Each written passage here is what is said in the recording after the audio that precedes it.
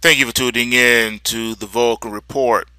This end of day report is for trading on Thursday, August the 4th, 2016. You're looking at the SLV, looking at silver.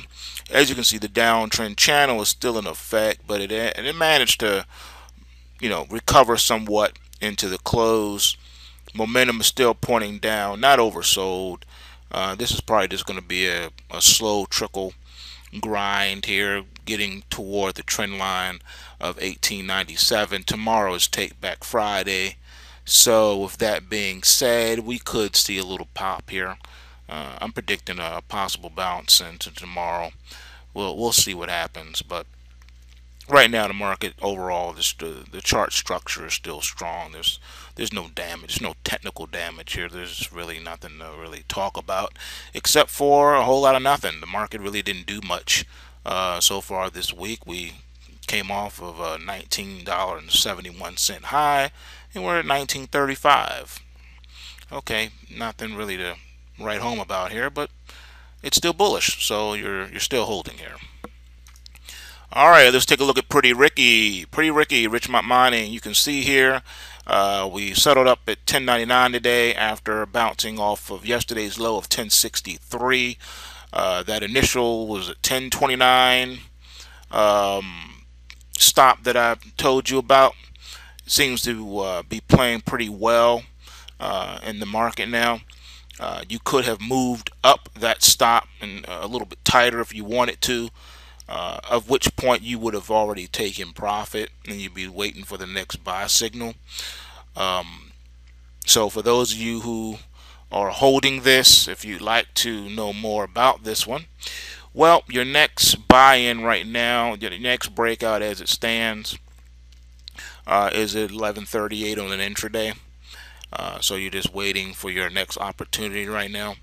Um, but you do not want to see uh, this get you know further down um, before your entry. Right now that support is around ten dollars and sixty five cents. Uh, then you have strong support on the daily here at 1005 so in an intraday 1065 is where it should hold. Uh, you really don't want to see it uh, get below that. Uh, but at any rate uh, you're still good even if you use the daily um, channel uh, right here support channel. It's at 1005 so you're still good but at any rate, uh, I suspect this is going to uh, retest these highs. It's just waiting to see what the uh, precious metal market to do on the future side of things. All right, looking at GLD, you know, pretty much the same thing. Not a lot going on here. Markets are just taking a breather. They've been, you know, uber bullish. We filled the gap here yesterday, which is great. So now the market's free to uh, to float up here uh, being that tomorrow's Take Back Friday. Well supported at 125.81 on the daily chart, and well supported at the first trend line at 127.87 and at 129.36. So markets are doing really, really relatively well, and um, you know I think this bullishness is going to continue into next week. We'll wait and see. Uh, it will be a danger sign if we fail to take out the 130, 115 uh, going into next week. Got to take that out. Need to close above that next Friday. Okay, by next Friday we need to close above that.